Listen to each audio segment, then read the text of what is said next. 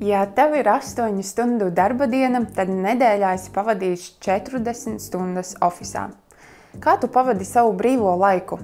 Pie televizora, iepērkoties.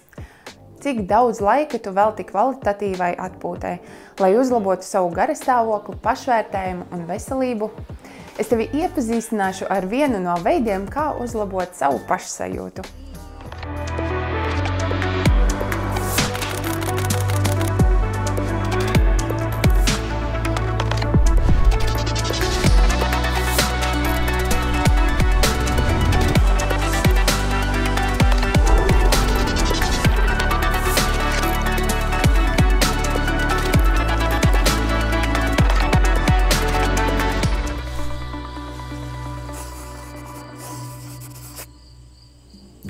Čau! Mani sauc Līga, un es priecājos, ka esi pievienojies šajā sērijā kopā ar mani, lai vairāk uzzinātu, kā uzlabot savu garastāvokli, pašvērtējumu un veselību.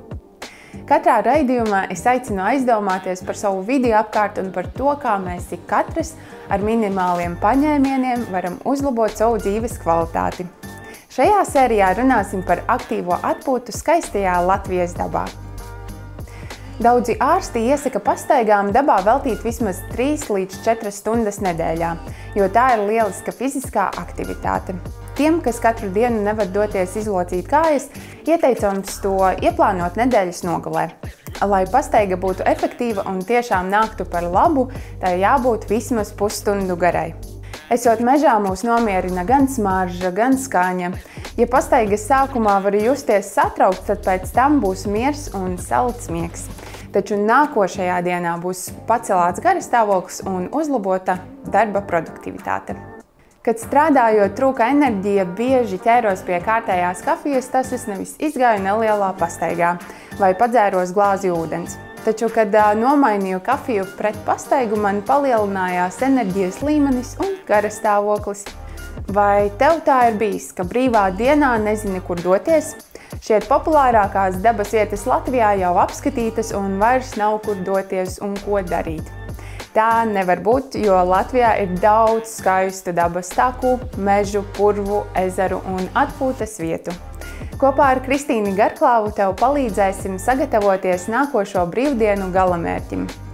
Kristīna ir žurnāliste, televīzijas personība un dabas mīļotāja, kura katru savu brīvo brīdi izmanto, lai pabūtu dabas tuvumā. Es beidzot esmu mežā un te ir tas svaigais gaiss, kas eh, ļoti jau tagad jūt, kā iedarbojās uz mani nomierinoši, jo ir bijis diezgan saspringts rīts. Un tagad mežā esot ir tāda, nu, tāda laba sajūta, tāda atpūta. Un, um, Un tas, eh, tā dabas klātbūtne manī ir jau kopš bērnības, un līdz ar to tas mm, nekad nav bijis citādāk. Jau, jau, jau bērnībā mēs devāmies pārgājienos, bieži devāmies uz mežu, daudzkārt arī eh, tīri praktiski iemeslu dēļ kā tas bija laukos bērnībā, piemēram, lasīt mellenes vai, vai lācenes vai dzērenes, nu, jebkuras ogas, kas, kas vasarā ir uh, aktuāls. Mums bija uzdevums tās uh, lasīt, un tad varbūt bija brīži, kad tas mežs nemaz tik pozitīvs nešķita, piemēram, tur izcirtumā, uh, karstumā kad bija jāpielasa, piemēram, obligātie 5 litri, bet, bet kaut kā caur to visu, laikam tā saikne ar to dabu tomēr radās, jo paralēli visām tām lietām, kas bija mežā jādara, Un bija arī ļoti daudz piedzīvojumu, ko mēs mežā darījām. Meklējām dažādus apslēptos dārgumus, eh, būvējām štābiņus mežā un iemācījāmies eh, izmantot mežu ne tikai praktiski, bet arī, es domāju, emocionāli. Tajā laikā to neapzino, neapzinoties. Tagad jau tas ir apzināts lēmums. Nu, ejot mežā ar kaut kādu konkrētu, jau pavisam varbūt bieži vien citu mērķi, bet paralēli zinot jau par tām pozitīvajām lietām, kas notiek ejot mežā.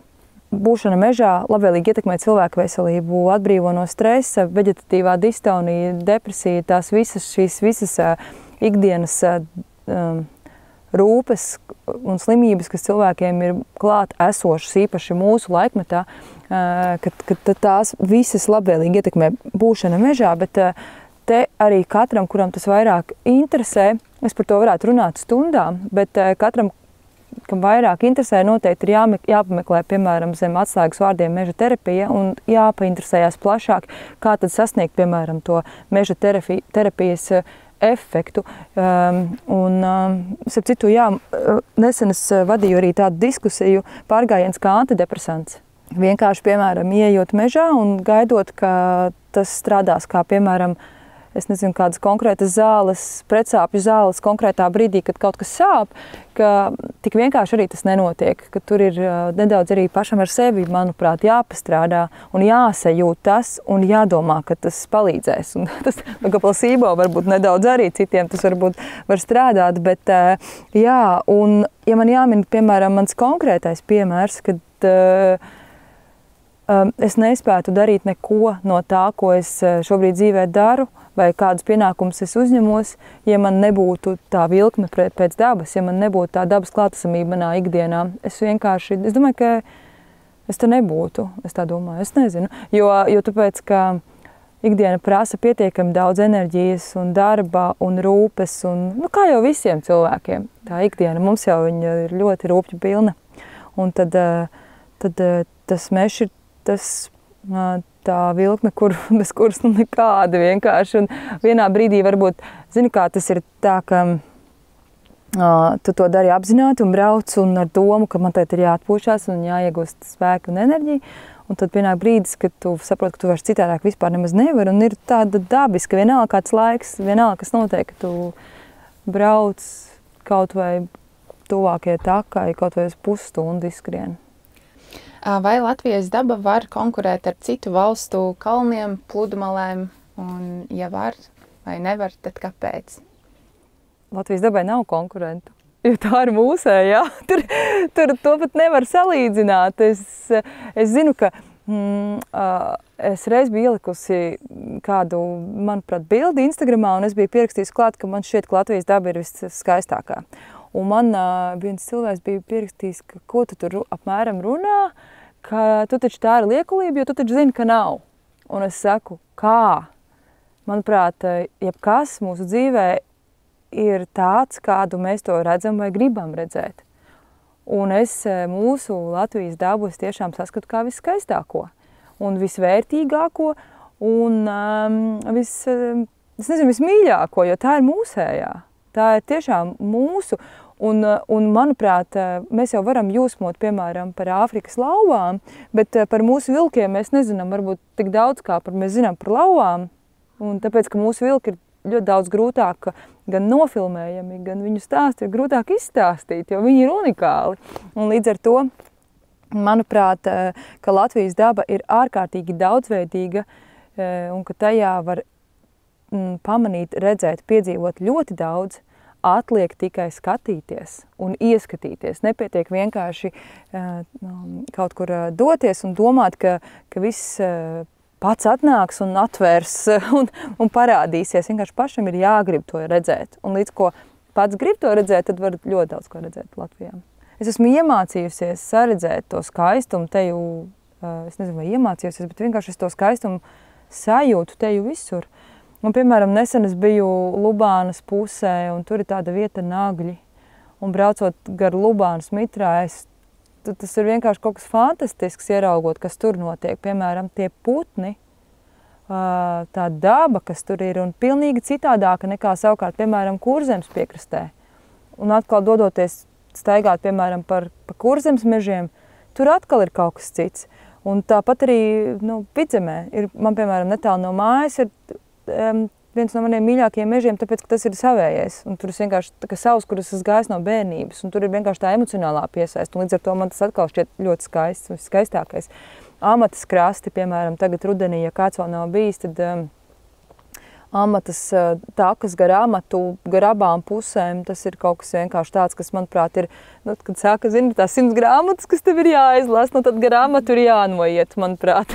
Pavasarī, piemēram, kad zied visbulīts ir uh, fantastiski, vai arī, nu, rudenī tur ir tikpat skaisti, un ziemā arī es tur eju, un tur, piemēram, ir tur ir, tur ir ieži uh, un vienkārši vizuļo saulē un kolosāli tur doties, teiksim, gar amatu pastaigāties. Nu, nu, nu, katra vieta ir ar kaut ko skaista. Un, uh, es, zinu, ir, ka es, zinu, ka ir tādi rūtīti, man arī pazīstami pārgājienu gājēji, kur iet lielās takas, piemēram, meža taka, jūrtaka vai, vai uh, zaļais ceļš. Un, uh, tas ir, tas ir takas, kas ved vairāku simtu kilometru garumā.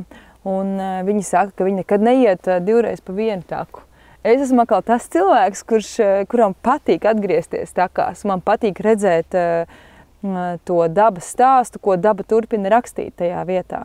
Es redzu tur to laika ritmu, to, kā laiks ietekmē, ka laiks iet uz priekšu man patīk to saredzēt, un man patīk dažādie gada laiki. Un, jo nekad, nevienā vietā, nu, dabā, ja mēs šodien šeit tiekamies, tad rīta nekad, nekādā gadījumā nav iespējams, ka te būs tāpat kā šodien. Te viss būs atkal citādāk. Varbūt, būs varbūt šie paši koki, bet kaut kas būs citādāk. Vienkārši tas tā kā atrod tās simt vai cik tur atšķirības un, un nākt un meklēt tās atšķirības. Un tādā veidā cilvēks arī, manuprāt, iemācās saklausīt to dabu un redzēt, un tad nedomāt par tām uh, ikdienas lietām, kas mums ir mājās jārisina vai darbā. Būtu arī minēt pāris lietas, kā tad uzsākt šo dabas terapiju. Katram cilvēkam droši vien tā recepte varētu būt diezgan individuāla. Bieži vien, piemēram, vecāki, kuriem ir mazi bērni, viņi domā, tā es pagaidīšu, kad bērnam būs piemēram nu, septiņi gadi, astoņi varbūt arī vecāks, jo tad kā, viņš varēs iet garus gabals un uh, varbūt nebūs tāds nečīkstēs. Vai, vai, nu, kā, tad, tad mēs varēsim doties. Un man šķiet, ka tas ir jau par vēlu. Nu, kaut vai vienkārši piemērs. Nu, cilvēks, ja, piemēram, nolemj doties mežā, pirmkārt viņš apģērbjās, nu, varbūt ne tik pareizi, kā tajā dienā vajadzēja apģērbties. Nu, viņam jau varbūt ir krēņķis. Tad viņš iet mežā un, piemēram, satiek alni kur viņš nav domājis satikt. Un Alni satikt, nu, es teikšu tā, varbūt, uh, nu, nu tā, ka man gribās satikt Alni un arī Lāci. Bet es pieļauju, ka lielai daļai negribās satikt. Un, un labāk ir negribēt satikt, piemēram, aļņu mazuli, jo tāpēc, tas ir viens no bīstamākajiem Latvijas dzīvniekiem, ko mežā satikt līdzīgi kā meža cūkas. Un tad uh, viņš jau ierauga meža cūku, cilvēks pārbīstās. Tad viņš, piemēram, atnāk mājās un ierauga kaut kādas sasodītas ērces, kas ir pieķērušās. Un tad cilvēkam iespējams ar to meža tā asociācija ir pavisam ne, nu, tāda, ka nepatīk iet. Kāpēc man jāiet, ja tur ir, uh, tur ir ērces čūskas, aiņi nāk virsū, vispār var apmaldīties. Un es, tāpēc es pilnībā respektēju, ka cilvēki varbūt arī var negūt prieku. Tā var būt un nav obligāti visiem tas jā, jāiegūst. Bet, bet tad, tad ir nu, tad tas, kā es pati esmu sapratusi, ka man savukārt patīk tas piedzīvojums, ko es tur piedzīvoju. Un, uh, Un tad es cenšos arī maksimāli kaut kā iepazīt to dabu, jo vairāk iepazīstot, eh, kļūst mazāk bail. Kā sagatavoties pirms eh, kāda pārgājiena došanās dabā? Noteikti vajag izdomāt, ko vajag. Un eh, prioritāri ir labi apavi, tāds ērts apģērbs. Un es arī, godīgi sakot, to savu dabas sadaļu mājās, es viņu vācu nu, tā gadiem. Tad man parādās zābaki, tad nākamajā gadā kaut cik normālas bikses, kas jau ir atbilstošas uh, konkrētam gada laikam, konkrēti iešanai dabā. Uh, jo tam visam ir īstenībā ļoti liela nozīme. Bet uh, tas atkal no otras puses arī nu, dabā var iet arī šortos. Nu, tā mēs arī dažreiz darām. Nu, tas vienkārši jāskatās pēc tā, ko tu dari tajā brīdī un kur tu dodies. Un, un kāds ir tas pārgājiena mērķis. Un, nu, tad jā, jāskatās tajā somas sastāvā. Ūdens noteikti, manuprāt, ir nu, prioritāte. Tam ir jābūt līdzi un pēc iespējas vairāk, cik nu vien nu, var panest. Paralēli man vienmēr, kas mums tur līdzi ir vienmēr jāpadomā nazītis. Protams, kaut kādas uh, uzkodas. Ja ir garāks pārgājiens, tad arī silta tēja vai pusdienas vai arī prīmusiņš, kas nav mums tik smags līdzi paņemt, piemēram, var uzsildīt un uztaisīt jebkurā vietā. Nu, un paralēli, kas mums arī gandrīz ir vienmēr līdz nu, īpaši rudens sezonai sākoties septembrim, oktobrim, tā ir pieras lampiņa, lampiņas vairākas. Jo, tu, jo uh, var jau gadīties tā, ka tas pārgājiens tiešām ievelkas laikā nesasniedz to vietu, vai arī, piemēram, uh, nu, arī nedaudz senāk novirzīties nu, kaut kāda kursa vai kā, un ir tā apmaldīšanās, un tad labāk ir, ka tā lampiņa ir, tas tomēr tādu drusku drošības sajūtu tajā mežā dod. Tās pieras lampiņas vienkārši uzliekam iet. Mhm. Tad tieši jautājums, vai pārgājieni dabā ir sezonāli? Nē. Kā? À, tu domā, ka tikai vasarā iet? Nē. Vasarā, rudenī, pavasarī, jo ziemā paliek augsti. Tas ir vairāk ārpus mūsu komfortablā, ātrāk kājas var nosaukt. Protams, jā, viss slikti, var. Lietas līst vispār, tur, kurš iet ārā. Vienīgais uh, uh, brīdis, kad mēs neejam, pārgājienos ir vētras un ļoti stipri vēji. Jo, jo es esmu to es esmu iemācījusies no cilvēkiem, kas iet mežā par to, ka mežā koki diemžēl krīt klusu un viņus nevar dzirdēt bieži vien. It sevišķi, ja ir stiprs vējš. Tāpēc vētras mežā man ir gan drusciņa baida. Tāpēc tad es, tad es labāk, labāk, tad nē. Bet visi citi brīži ir kolosāli, jo, jo piemēram, nu, uh, var mainīties tās pārgājienu formas. Un, eh, un, eh, piemēram, eh, rudenī bieži vien mēs dodamies arī laivu braucienumus.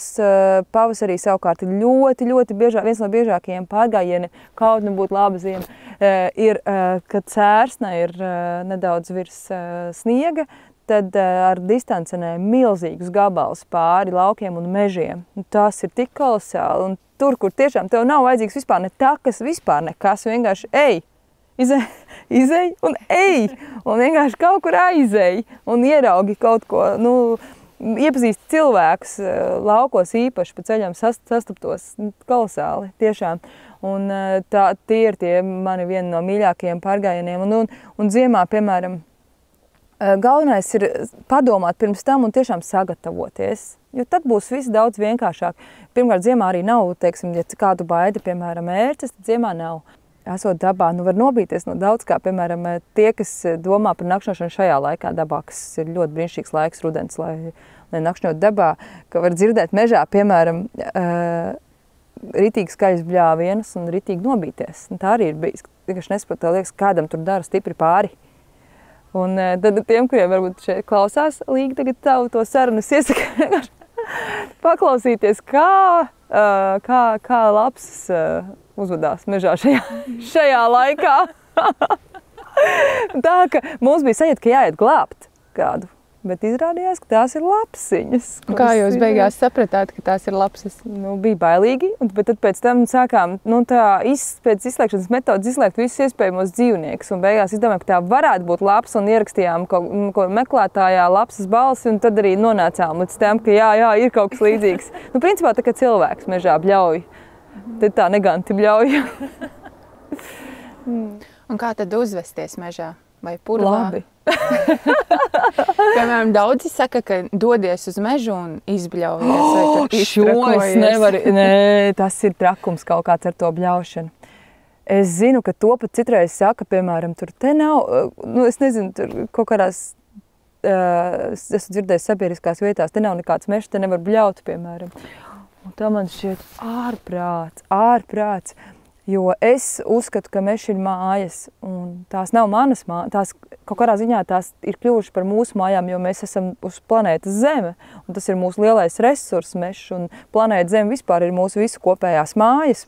Un, eh, un tās robežas nav bezgalīgas uh, planētai. Un, uh, gluži tāpat arī mežam.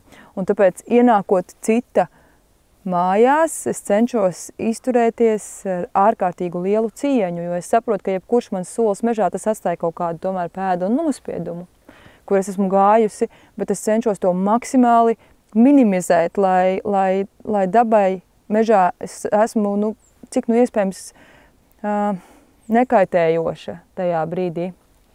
Jo, jo, jo, jo es parasti arī saku, nu, pļaustīties mežā nevajag, tāpēc, ka tajā brīdī, piemēram, ja tas ir putnu likstošanas laiks, tur ir maz putniņi, kur ir likstiņās. Un vai tur, nezinu, kaut kur mazi zaķēni vai lapsēni vai kaut kas, un cilvēks ielaužās ar savu skaļo balsi, un tur, tur var notikt tādas, manuprāt, nu, tādas sliktas lietas tajā mežā, ja, ja piemēram, stikla nomešana. Tas ir, tas ir tas, kas manī rada ļoti lielas dusmas, jo es zinu, kādu postu var nodarīt mežā, nomestā pudele, kādas ir gana daudz, jo tās var uh, izraisīt ugunsgrēku, un cilvēki nevienmēr par to aizdomājās. Tāpēc vienmēr nu, diezgan bieži man arī līdzi paralēli kaut kādam nu, uh, pārgājienu ekipējumam ir arī kaut kādi maisiņi, kuros mēs savācam uh, to, ko ir atstājuši mežā citi. Nevienmēr tas sanāk, jo, jo bieži vien pašiem ir smagas somas un jāliek, jāiet lieli gabali, un nevienmēr sanāk visus uh, visus mēslus iznest laukā, bet um, cik nu tas ir iespējams, to mēs darām. Jo, tur, nu, un, jo meži diezgan tomēr cilvēki kaut kā atstāja šo to aiz sevis. Mm. Jāiet, es domāju, ka vienkārši jā, jādod, jādodas dabā, jo šodien tu pati redzi, kur mēs esam. Esam rītīgi pie Rīgas. un patiesībā sakot, te ir tāds mežiņš, kur var pat apmaldīties un var diezgan labi pazust savās domās un, un, un sakrāt jaunu enerģiju un jaunus spēkus. Jo man šķiet, ka iemīlot dabu, mēs sevi saprotam arī to sajūtu, ka negribas nekad darīt dabai pāri. Un tā man šeit arī ir tā labā pievienotā vērtība.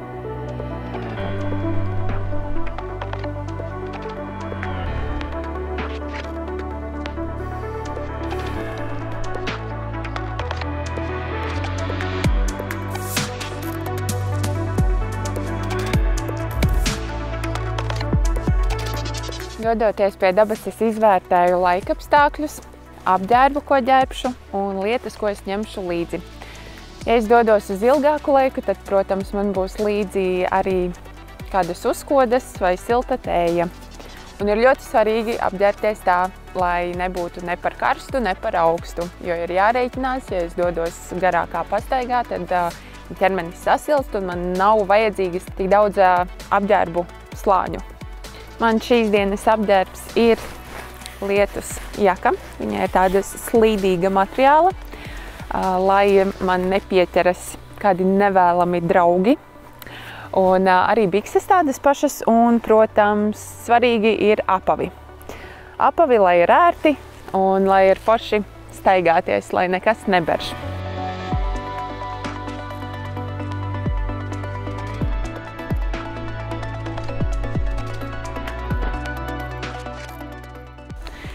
Man pie dabas patīk atrasties, jo šeit ir ļoti liels miers. Šeit nav nekādu papildus lietu, kas novērš manu uzmanību no manis pašas, no manām emocijām, no manām sajūtām. Un, uh, tas arī atvieglo domas un saliek pa plauktiņiem un liek justies labi. Dodoties dabā, man ļoti nepatīk atkritumi, ko es mēdzu bieži vien satikt. Un, uh, tad, kad es viņus redzu, es arī cenšos visus paņemt un izmest tuvākajā atkritumu konteinerā.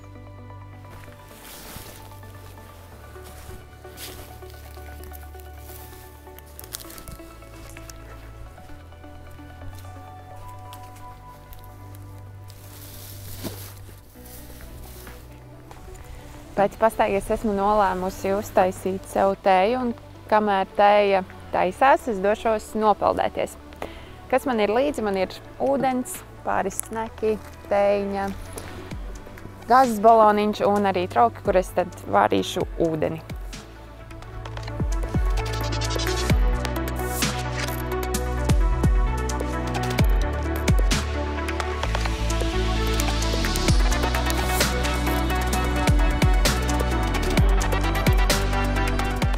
Kamēr man cildās ūdens, es ātri pārģērbšos un došos nopeldēties. Lai pēc augstās peldes būtu forši, maigi un silti, tad mani sagaidīs steiņa un pāris nešķīši.